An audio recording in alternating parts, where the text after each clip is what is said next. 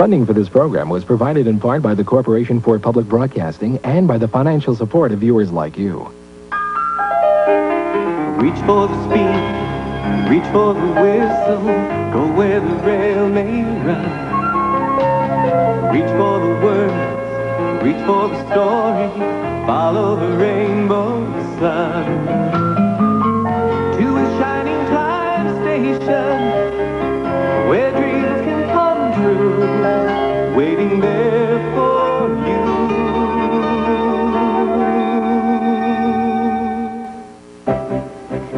Welcome to Shining Time Station. No, no, no, no, no. That's, that's not cheerful enough. Welcome to Shining Time Station,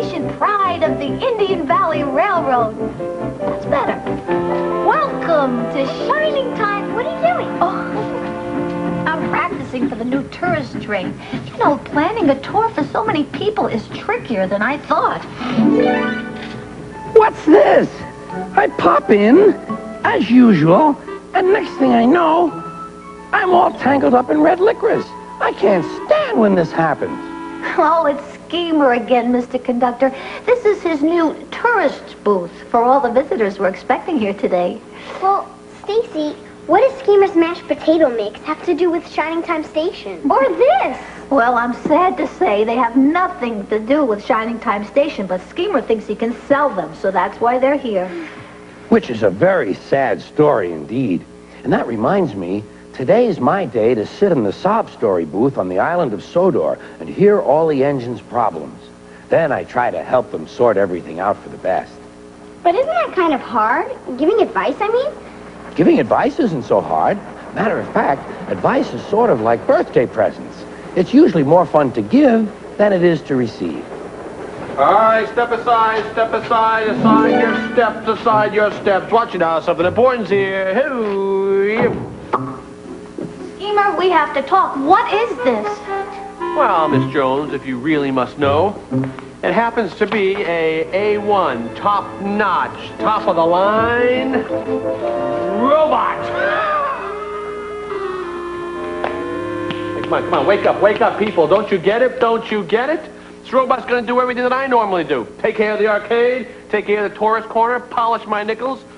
Basically, uh, do everything that I tell it to do. Go ahead, and say it. Schemer. It's brilliant. Schemer. It's crazy. Everyone has to do things for themselves, whether it's making a drawing or cleaning your room or fixing your bike. You are just jealous that you didn't think of it first. Oh. Nah. Girls, be prepared to have the eyeballs fall out of your head. Ah, uh, watch this now. Uh, oh, whoa, whoa, hey, whoa, wild man, wild man, slow down. Hi, I'm Schemer, the supreme financer of nickels and, and monetary things. You are robot. I command you, speak. Would you like to try our kielbasa sausage? Huh? It goes great with our freshly baked buns.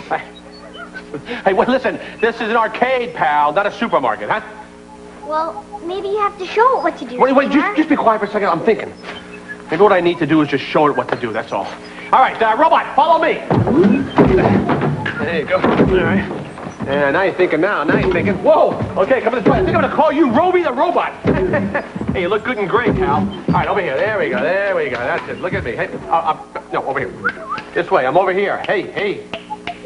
Well, there's a big old washing machine out there and it wants to eat us. Now, that's no washing machine. What is the matter with you, Tex? Oh, sorry, Rex. It's a clothes dryer. And it wants to eat us. I What? You're telling me you can dig such a big, scary, weird thing? Just because something's big and weird looking doesn't mean we have to be scared of it. No, it doesn't. But let's be scared anyway. You guys are a bunch of big babies. Okay, now time for some serious robot type stuff. Robot, I command you. Sweep. Yes, supreme financier of nickels and monetary things. Hey, no, not, I mean the floor. Sweep the, the floor, the stuff underneath those things you call things. Give me, give me this thing like this. Nice long strokes like this. Don't forget the corner. Looks like Schemer's having some trouble with his robot. He says that there are some kinks to work out. Well, that could be. But it could also be that Schemer hasn't taken the time to find out everything he needs to know about his robot. Yeah, but it sure would be kind of neat to have one, don't you think?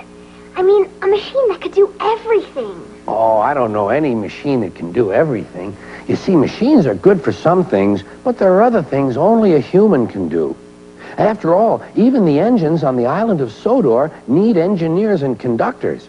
And when the engines forget that, things can get very confused. Let me show you what I mean.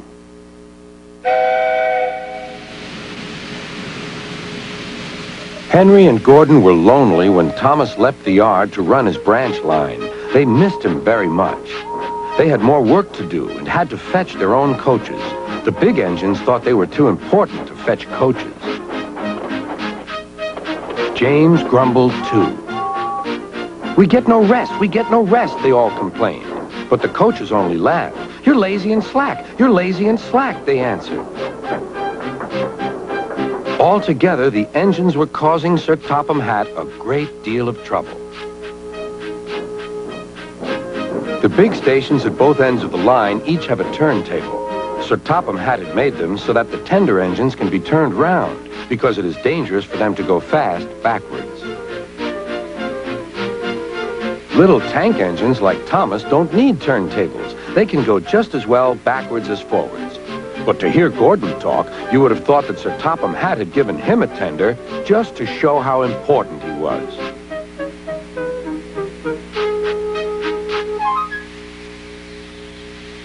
You don't understand, little Thomas. We tender engines have a position to keep up. It doesn't matter where you go, but we are important. And for Sir Topham Hatt to make us do shunting, fetch coaches, and go on some of those dirty sidings, it's, it's, well, it's not the proper thing.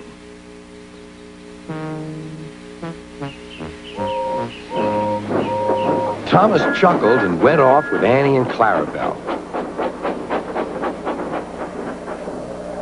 Disgraceful, Gordon hissed as he ran backwards to the turntable. The turntable was in a windy place close to the sea, and if he was not on it just right, he put it out of balance and made it difficult to turn.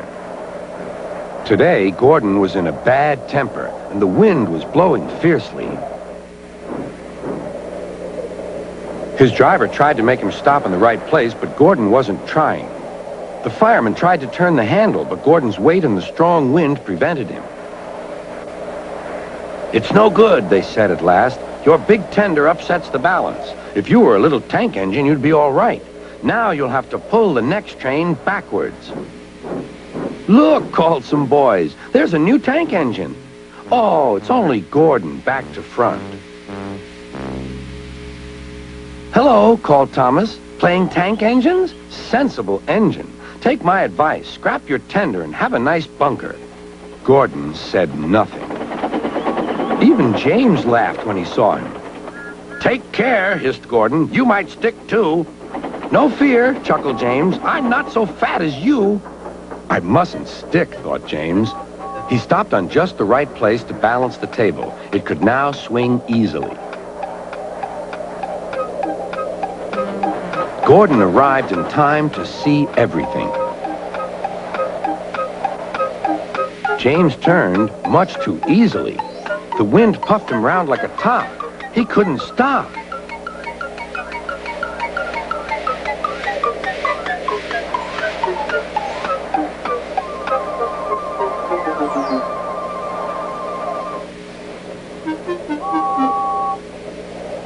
Well, well, said Gordon. Are you playing roundabouts? Poor James, feeling quite giddy, rolled off to the shed without a word.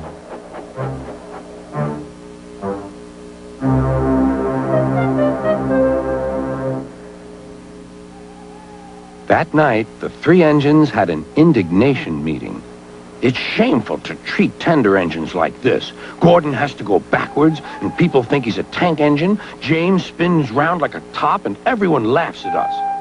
And to add to that, Sir Topham Hatt makes us all shunt in dirty sidings. Ugh! Listen, said Gordon. He whispered something to the others. We'll do it tomorrow. Sir Topham Hatt will look silly. The engines had decided to go on strike. They went on strike? You mean they weren't going to work anymore? That was a sad story. And what happens next is even worse. But my tale of woe will have to wait, for now I must go on my sad, sad date.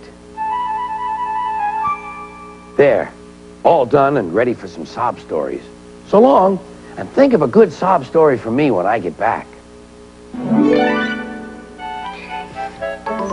Okay. Now it is time to mop the floor. I command you, mop the floor. Hey, hey, hey, hey, hey! Not on, not on me! You're drunk! Get out of here! Stop it! Look at what you're doing! Look at what you just did! Look at what you're doing! What? You having some trouble with your robot? No, no. Everything's as smooth as cake. Cake! Try our tasty new cakes! I'll do be quiet with the foods! Oh, it's just a, just a few bugs to iron out. Bug spray! On special this week! Quiet with the bug spray! Me. What listen, uh, he's just a little unfocused because of all the people that are all over this place.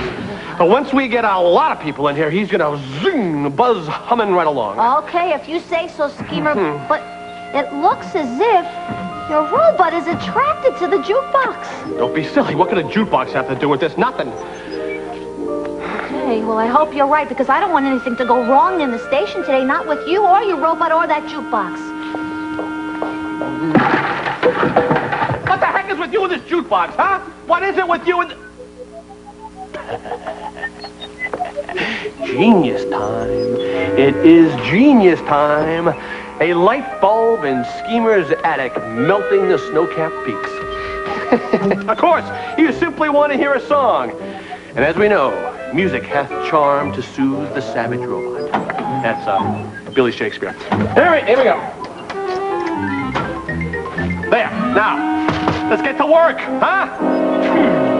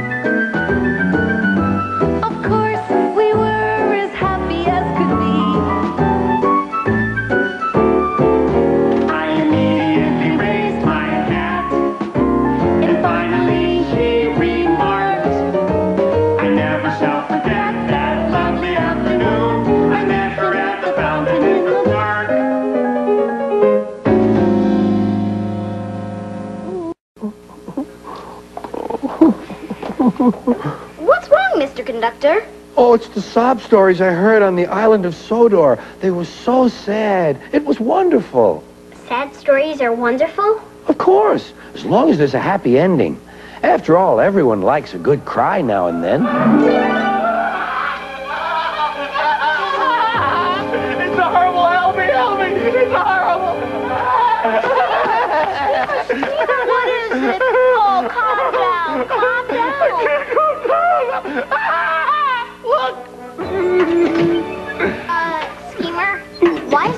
Putting all your nickels in the jukebox?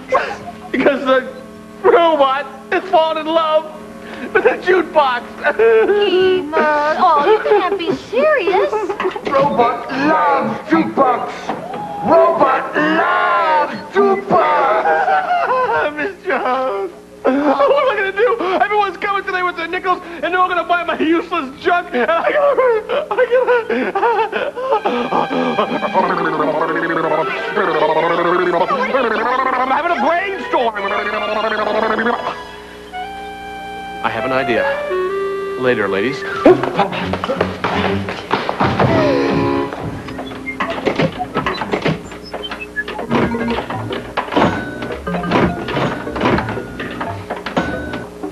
Okay, selection 489. Oh, Tito, we need a break. Are you kidding? Can't keep playing. But this is the best gig I ever had since I was a Tito in the box. Hit it. I know that Robbie's just a machine, but it is sort of like he has real feeling. And all Schemer does is hurt his feelings. That's right, Kara. And it's sad when someone hurts your feelings, but it's an even sadder story when you aren't allowed to do what you do best. Mr. Conductor? Well, I have a feeling that Robbie isn't supposed to work at an arcade. I think he's supposed to work in supermarkets. Oh, so that's why he's always talking about food. It's easy as pie. The problem is, Schemer was so busy trying to find an easy way to do things that he never bothered to learn anything about his robot. But what can we do? Well, I have a feeling that things will work out somehow. After all, didn't they work out on the island of Sodor once Percy arrived? They did? But you didn't tell us yet. I didn't tell you about the day when Percy arrived in the yard? How sad.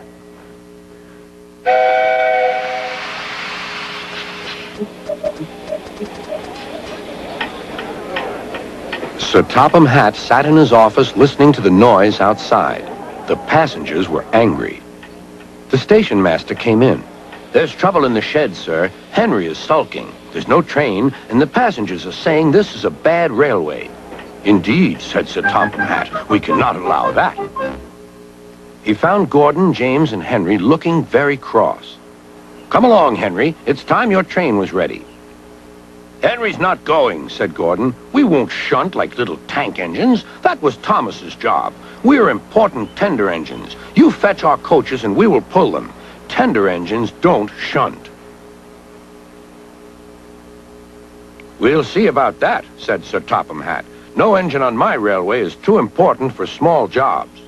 And he hurried away to find Edward. The yard has never been the same since Thomas left to run his branch line, he thought sadly. Edward was shunting. Leave those freight cars, please, Edward, said Sir Topham Hatt. I want you to push coaches for me in the yard. Thank you, sir. That will be a nice change. That's a good engine. Off you go, then.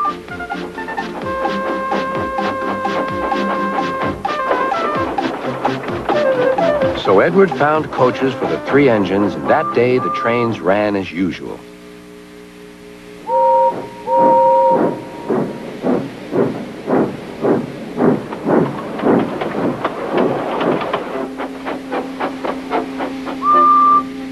But next morning, Edward looked unhappy. Gordon came clanking past, hissing rudely. Bless me, said Sir Topham Hatt. What a noise! They all hiss me, sir, answered Edward. They say tender engines don't shunt, and last night they said I have gray wheels. I haven't, have I, sir? No, Edward, you have nice blue ones, and I'm proud of you. Tender engines do shunt, but all the same, we do need another tank engine here. He went to a workshop, and they showed him all sorts of engines.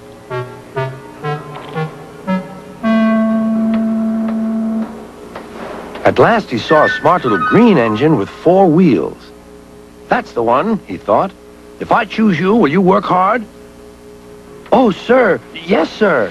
That's a good engine. I'll call you Percy. Yes, sir. Thank you, sir.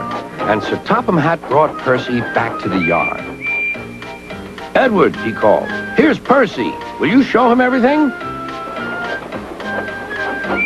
Percy soon learned what he had to do, they had a happy afternoon.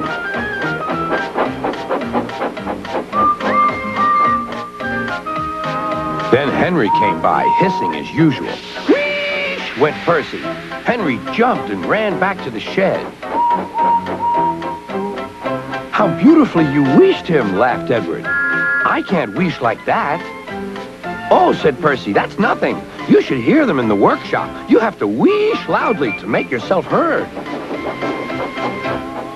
Next morning, Thomas arrived. Sir Topham Hatt sent for me. I expect he wants help, he said to Edward. Shh, shh, here he comes, replied Edward. Well done, Thomas. You've been quick. Listen, Henry Gordon and James are sulking. They say they won't shunt like little tank engines. So I have shut them up, and I want you both to run the line for a while. Little tank engines indeed, snorted Thomas. We'll show them. And Percy will help too. Oh, sir. Yes, sir. Please, sir, answered Percy. Edward and Thomas worked the main line, greeting each other as they passed by. Percy puffed along the branch line. Thomas was anxious about Annie and Clarabelle, but both driver and conductor promised to take care of them. There were fewer trains, but the passengers didn't mind. They knew the three other engines were having a lesson. Gordon, James, and Henry were cold, lonely, and miserable. They wished now they hadn't been so silly. You know, we usually learn something very important from sad stories. And speaking of learning, listen to what's happening just outside the door. The tour! Stacy's giving her tour right now. Come on, let's go. And so, Shining Time Station is really about all the beautiful artifacts that date back from 1885 to the present. The things of beauty and age that represent the very best of our past. Oh, thank you. Thank you. Are there any questions? Yeah, how about the robot behind you? What robot behind me? Would you like to try some of our pickled calves livers? Oh. oh That was a great tour, Stacy. Yeah, well, thank you. It, it was a pretty good tour until Schemer's robot showed up. Schemer, looks like your robot is a big hit. It, it is? I mean, of course it is. I knew it would be, and you were worried. That schemer. uh, this is a little uh, love interest for my friend the robot. Oh, Schemer. I don't know, Schemer. I mean, you were kidding me? These two were made for each other. Ed, you can say it. Schemer, you're really Cupid. Oh. Okay, Robbie. Time to fall in love. I want a souvenir from this station. One souvenir from Shining Time Station. Thank you. How much is that? It is one souvenir. Here is another one. Attention shoppers, today only, everything free. May I help you? I'd like a souvenir too. Two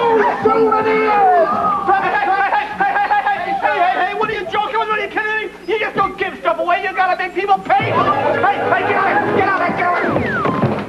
Get out of my stuff. It's my stuff. Gee, maybe we better help Schemer.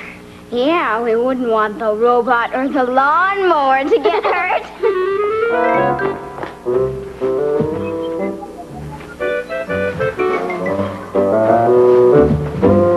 Problem.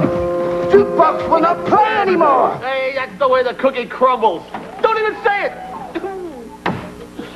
You know, I'm getting to the idea that you're not much of a labor-saving device.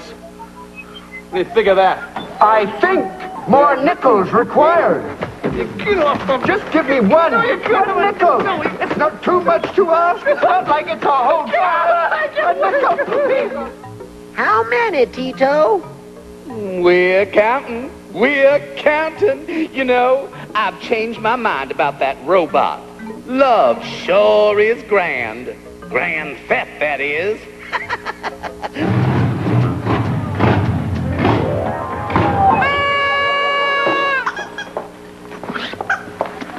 Well, cool dudes, what's the word? Hiya, Barton. What can we do for you? Well, Stace, I got trouble with the scheme man.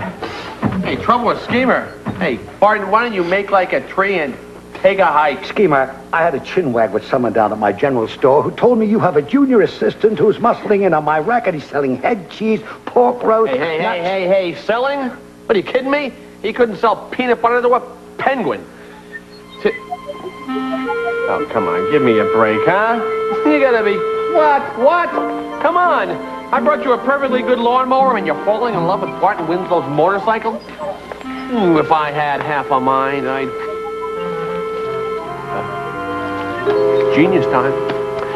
Uh, hey, uh, Barton, old pal, old trading partner of mine, how'd you like to make a little deal-a-rooney? Yeah, well, what kind of a deal-a-rooney, daddy-o? Well, let's just say that uh, you get an assistant for absolutely free, and I get rid of an assistant for absolutely free. Oh, come on. Now, what would I be doing with a robot who can only work in arcades? Yeah, but Mr. Winslow, Robbie doesn't work at arcades.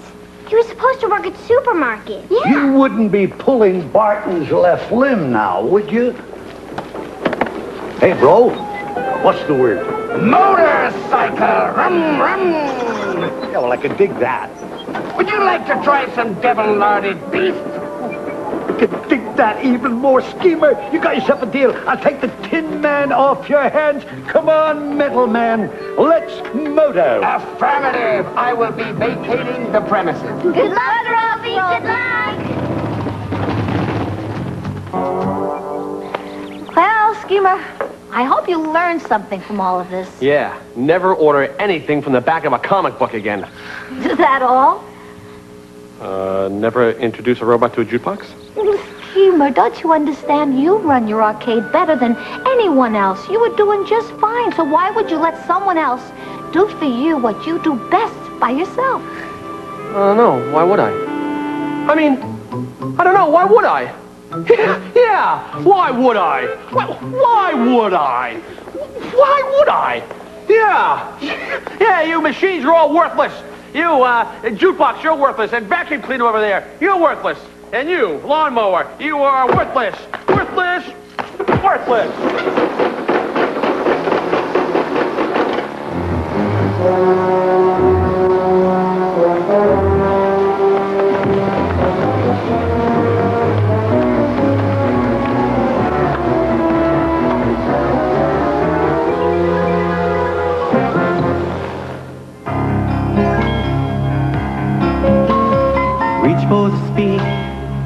For the whistle, go where the rail may run.